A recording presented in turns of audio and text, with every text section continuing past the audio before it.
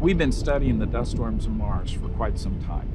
And there's a particular season where some of the dust storms can actually go global, not just regional, but global. Dust storms of Mars can be absolutely enormous. It can be 20 to 30 kilometers high. And in fact, the dust can get charged. And in the case of these really tall dust storms, lightning can strike. These dust storms are huge. They can cover the entire planet and they can last for months. They're visible from space. Mars just kind of turns into a hazy red ball, and we can't see surface uh, features anymore with our satellites. The dust, it's not like sand, it's like talcum powder.